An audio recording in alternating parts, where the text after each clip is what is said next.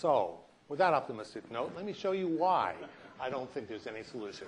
This is the carbon dioxide, note the suppressed zero. This starts at 2,000, zeros down here. Of carbon dioxide emissions from China and the United States. The United States has actually gone down in emissions over the last couple of years due to the recession. During the recession, the Chinese emissions went up between 7 and 9 percent. This is last year here is 2006. In the newspaper yesterday, there was a report by Reuters that, uh, that gave the results of a report from a Netherlands agency. Can't quite read this here. The red didn't come out very well. It's an update from the Netherlands Environmental Assessment Agency. And this has the current level of carbon dioxide emitted by China every year to be 50% above that of the United States. It passed in 2006. 2006, I felt was a seminal year, was at this point, it's true, they, they, they have four times the population of the U.S. So they are emitting less per person. And therefore, according to the logic of most people at Berkeley, they have every right to do this. And therefore, this increase they have every right to let it go, and we shouldn't stop them. And Al Gore says there should be no limits whatsoever on China. But the U.S. should cut down because we've been responsible for about one quarter of the global warming we've had so far. The United States has. Whereas China is a newcomer, they have the right to emit a lot. Let me show you what happens if in last year in Copenhagen, in December, there was a meeting, President Obama went, representatives from China went, the New York Times and, and, and, and, many others were in favor of there being a treaty that would limit the U.S. growth and make us reduce by 80% over the next 50 years, 40 to 50 years. That was the requirement. This was in the proposed treaty. The Chinese were supposed to reduce, by, reduce their emission intensity by 4% per year. And this is something they were willing to do. And so I thought President Obama would reach an agreement with China on this.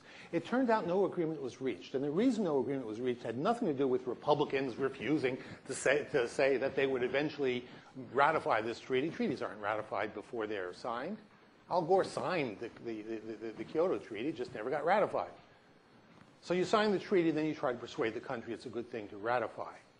No, what happened was China refused to allow inspections. And to my amazement, President Obama decided that without inspections, he could not sign this treaty. Now, it's also true that while he was there, my op-ed piece came out in the Wall Street Journal that I doubt that it was what caused him not to sign the treaty, but who knows? I can, I can dream. My op-ed piece in the Wall Street Journal showed what would happen if the treaty were signed and everybody actually abided. So this is the dream scenario for the Copenhagen Treaty that didn't get signed. This is what the law would be if President Obama had signed it. So what I've done here is here's the United States, down here, about 6 gigatons per year, and it started decreasing, cutting out, going down to 20% of its emissions over 50 years, 40 years. Okay, so this that's what we were going to pledge to do. What about China? They would cut their emissions intensity by 4% per year. So put them together with India, this is what would happen to them. Now, wait a minute. It's supposed to cut. Why is it going up? The key word was emission intensity. I, I, I watched the NewsHour on PBS, and they said, and China has offered to cut its emissions by 4% per year. I went, oh, God, even the NewsHour left out the word intensity. What does intensity mean? It's a technical word that means if your economy grows by 10% per year, then your emissions are only allowed to grow by 6% per year.